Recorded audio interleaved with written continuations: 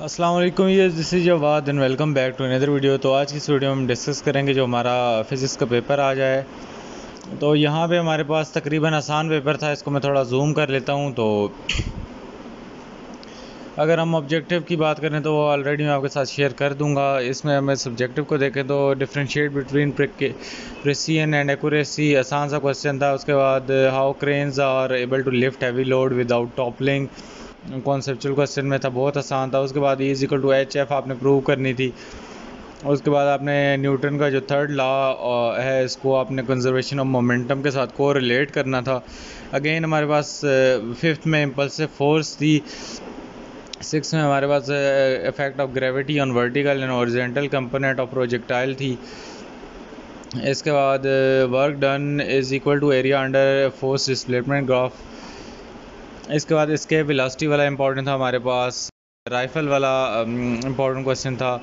Again moment of inertia angular momentum इसके बाद हमारे पास जो अलेवन नंबर था which object will attain terminal velocity first a lighter object और अ हैवियर ऑब्जेक्ट उसके बाद ये कोई न्यूमेरिकल थे नीचे। अगेन ऑर्बिटिंग सेटेलाइट वाला था, जिसमें आपने फ्रिक्वेंसी वगैरह फाइंड करनी थी। फार्मूलाज आई थिंक सो आपको नीचे गिवन है। तो हमारे पास इजी सीन था ये सारा।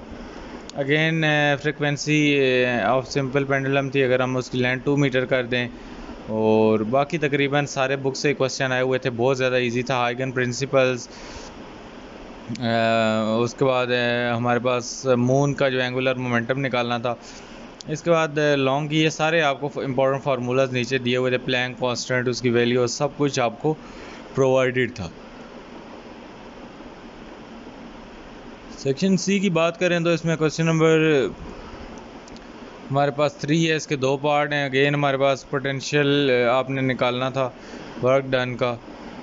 Specific heat of capacity again important long question था। सिंपल हार्मोनिक मोशन और प्रोजेक्टाइल भी बहुत ज़्यादा इंपॉर्टेंट लॉन्ग क्वेश्चन था। उसके बाद बर्नौली इक्वेशन इंपॉर्टेंट था।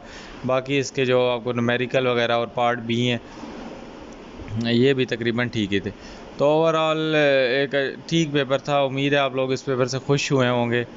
और कमेंट करके बताएँ कि आपके पास जो वर्जन था आप लोगों को पसंद है, आपका पेपर कैसा हुआ है? तो मिलता हूँ किसी और वीडियो में। अपना बहुत सा ख्याल रखना। अल्लाह हाफ़ टेक केयर